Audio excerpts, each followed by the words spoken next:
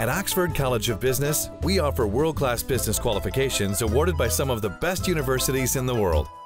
That's because all we do, all we are, is business education. මේ යුදබියෙන් ගලවගෙන ඒ සඳහා ක්‍රියාත්මකුණු ජනනායකයා පැහැදිලිවම ජාතික වශයෙන් ජාත්‍යන්තර වශයෙන් කුමන්ත්‍රණ කරුවන්. ඔවුන්ට අවශ්‍ය වෙලා තිබේ දේශේ මාමක දේශ හිතයිශී ජනනායකයා අයින් කරලා දාලා ඒ සඳහා මුදල් ආයෝජනය කරලා රාජ්‍ය පාලනය වෙනස් කිරීම සඳහා ඇමරිකාවේ අයවැය තුළ මිලියන 454ක් ශ්‍රී ලංකාවේ රජය වෙනස් කරන්න ලබා දුන්නා කියලා බැරක් ඔබාමා ඒ මුදල ලබා දුන්නයි කියලා පසු කාලිනව දැන් ට්‍රම්ප් ඒක ඉදිරිපත් කළා තියෙනවා. ලෝකේ රටවල් තුනකට ඒ මුදල් ආයෝජනය කරලා තියෙනවා.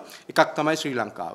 අද මේ ජන රැල්ලත් එක්ක මැයි රැලියත් එක්ක එකතු වෙලා ගත්තම මේ රට බේරගත්ත ජනනායකයාගේ ආරක්ෂාවද අයින් කරලා දී. මේ ශ්‍රී ලංකා අන්දාස් පක්ෂයට එරෙහිව කතා කරන ඇස්පිල්ලංගාන රාජිත සේනරත්න පක්ෂ නමයක හිටියා. ප්‍රා සංවිධානයත් එක්ක ගොනු වෙලා එක මලමිනියකට සල්ලි කීයක් ගත්තද කියලා හෘද සාක්ෂියට එකඟව අහන්න කියලා. ඒ ආකාරයෙන් කටයුතු කරපු රාජිතලා අද කියනවා සිරප්පු ලෙව කනවා කියලා. ජෝන් සෙනවිරත්න මැතිතුමාට අත දිගහැරලා කතා කරන්න උන්ට අයිතියක් නැහැ. නිල් අලි පැටවු හැටියට එතෙන්ට ගිහිල්ලා ඉන්න ශ්‍රී ලංකා දාස් පාක්ෂිකයන්ට මම කියනවා කරුණා කරලා ඔහු වෙනුවෙන් පෙනී හිටින්න කියලා. දැන් අපිට මේ වෙනකොට තෑගි තුනක් දීලා. මැයි දිනය තෑගි. පළවෙනි තෑග්ග තමයි මහින්ද රාජපක්ෂ ජනාධිපතිතුමාව සාටකයෙන් එල්ලා මරන්න. කවුද මේ කියන්නේ? අලුගෝසිනිකායේ නිකායේ පොන්සේකා. ඊට පස්සේ ඉන්නවා පිංගුත්තර නිකායේ දද්දොත්තර. පිංගුත්තර නිකායේ දද්දොත්තර කියනවා ඊළඟ මැයි දිනේට ඉස්සෙල්ලා අනිවාර්යයෙන්ම රාජපක්ෂලා ඔක්කොම හිරේලා. ඒ දෙවනි තෑග්ග. තුන්වෙනි තෑග්ග යහපාලනේ ඉන්න නායකයන්ගේ ආශිර්වාදය ඇතුව අනුග්‍රහය ඇතුව දෙනවා මහින්ද රාජපක්ෂ ජනාධිපතිතුමාගේ